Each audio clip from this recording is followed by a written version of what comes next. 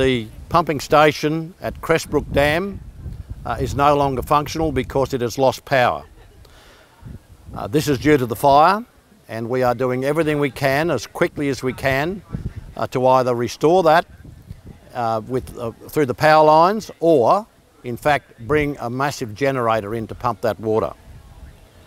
The Toowoomba Regional Council is calling on residents on the Toowoomba bulk water supply network to conserve for domestic use only due to the loss of some dam supplies caused by the ongoing Pechey fire.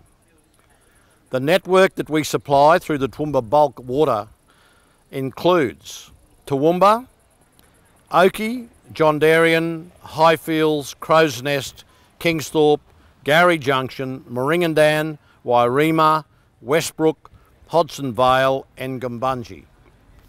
This is about risk. This is about making sure that we conserve as much water as we possibly can in case we need that water for an emergency. I beg of you all to make sure that you use only water for household purposes until further notice.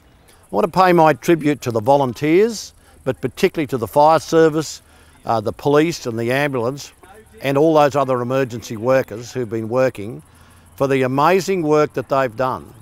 You will notice there might have been a couple of buildings gone, but no lives have been lost. And that's a great effort by these guys. I've seen them work flat out for six days. I'm getting phone calls all hours of the morning and night. And I don't mind that because we've got something to protect here with this great community.